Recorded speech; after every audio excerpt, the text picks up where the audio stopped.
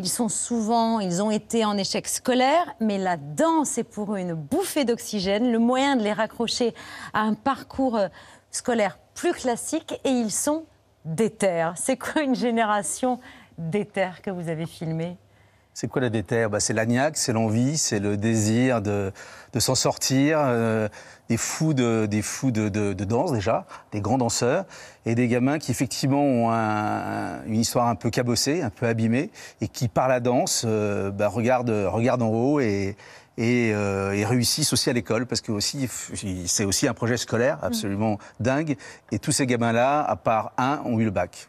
Ouais, ah bah, c'est formidable.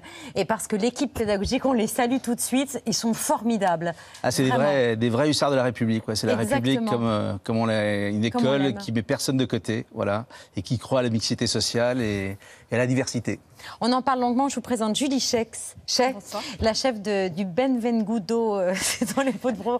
Oui, bah, ça va, Patrick. Je sais que tu, tu, me regardes et je sais que je vais me planter parce que tu me regardes. Vous le dites très bien, il n'y a aucun souci. Merci, Julie. Euh, des asperges pour nous inviter ce soir. Tout à fait. Ce soir, on est sur un carpaccio d'asperges des Landes IGP. Euh, c'est un produit d'exception qui est produit dans les Landes et c'est surtout un produit qui est labellisé IGP, Indication géographique protégée, un label européen de qualité. Voilà.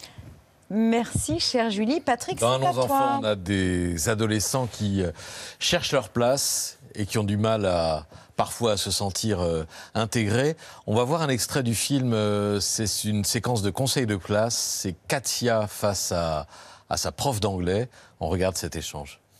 Vous avez dit, j'ai l'impression qu'ils sont tous bons en quelque chose. Et vous? Parce que ça veut dire que finalement, euh, les autres sont bons et pas vous? Vous croyez que vous n'êtes pas bonne en quelque chose? Ah, je suis désolée, je ne voulais pas vous embarrasser, mais... Attendez, je vais pleurer, je vais pleurer, Bah, euh... Je sais pas. Vous n'avez pas l'impression qu'il y a des endroits où vous avez un vrai truc, quoi? Je sais pas. Ce qu'il ne faut pas oublier, c'est que tu as été sélectionné parmi de nombreux candidats et on a choisi vraiment de te mettre toi dans le groupe.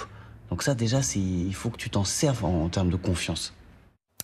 Le premier truc qu'on se dit, je ne sais pas si on a raison ou pas, c'est que euh, on aimerait que tous les élèves qui sont euh, un peu euh, à la marge ou à l'écart soient considérés, soient respectés, et de, cette façon, de la façon dont cette équipe pédagogique s'y prend.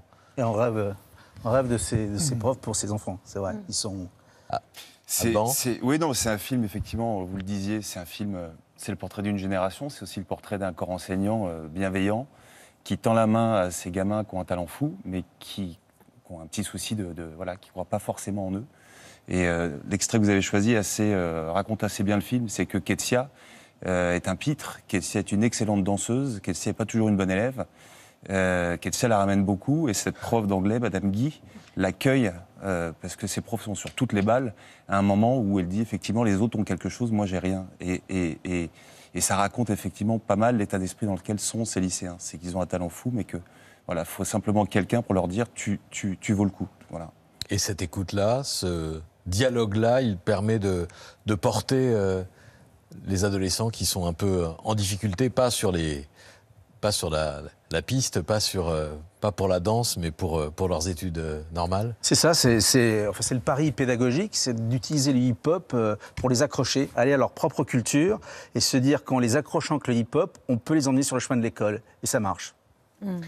Le hip-hop, euh, ben, ils en font. Le hip-hop, nous, euh, de l'extérieur, on voit souvent les battles, donc les affrontements entre euh, danseurs. Sauf que ce qu'on dit moins dans les battles, c'est que dans ces affrontements, il y a des valeurs, il y a des règles, et c'est ce que nous expliquent à un moment les élèves.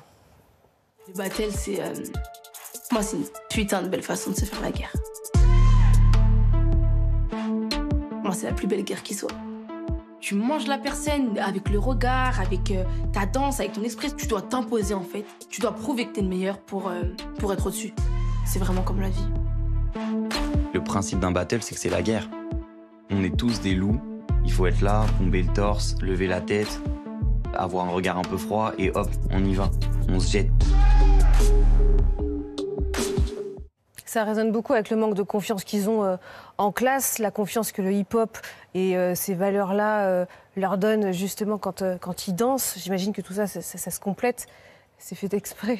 Le, le, battle pour les non-initiés, mm. ce que nous étions nous avant le, tournage, c'est ce mm. moment où les danseurs et les danseuses se réunissent donc en cercle et vont se défier en solo ou par équipe. Et David Berillon, donc ce professeur qu'on suit pendant tout le film, qui, qui a eu l'idée de cette section hip-hop, accompagné de son proviseur, Monsieur Baran, euh, leur inculque ces valeurs. C'est-à-dire que les valeurs du hip-hop sont, en gros, tout ce qu'ils vont devoir ensuite affronter dans la vie. Euh, donc c'est une guerre, mais c'est une guerre sans contact. C'est une guerre où on apprend à aller défier l'autre. C'est une guerre où on apprend à regarder l'autre dans les yeux. Et c'est une guerre aussi où à la fin on va se saluer, on se salue, on se check, où il y a beaucoup de loyauté et de respect. Donc c'est voilà le hip-hop aussi comme école de la vie. Quoi.